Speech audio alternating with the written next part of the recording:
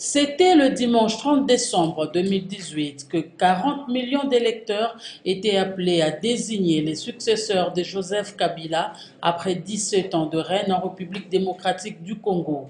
Un scrutin qui a donné lieu à la première alternance démocratique de l'histoire du pays, une transmission pacifique du pouvoir d'un président à l'autre depuis l'indépendance en 1960 fallait choisir entre Emmanuel Ramazani Chadari, le dauphin du président sortant, Martin Fayoulou, les candidats communs de l'opposition, Félix Tshisekedi pour le compte de l'UDPS et l'Union pour la nation congolaise. Gabriel Mokia, Marie-Josée Fokou, Seth Kikouni, ainsi que Noël Chani. Trois fois reportées, ces élections à un seul tour se sont tenues sans incident majeur.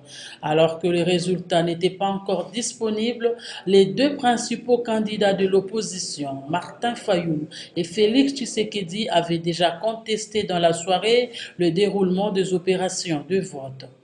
Dans cette même soirée, Emmanuel Ramazani Chadari se disait déjà successeur de Joseph Kabila et le 10 janvier 2019, la Commission électorale nationale indépendante a proclamé Félix Tshisekedi vainqueur. Résultat confirmé par la Cour constitutionnelle avant la prestation des serments du 24 du même mois. N'ayant pas obtenu la majorité au Parlement, Félix Tshisekedi était obligé de contracter une alliance FCC cash, mariage qui n'est dû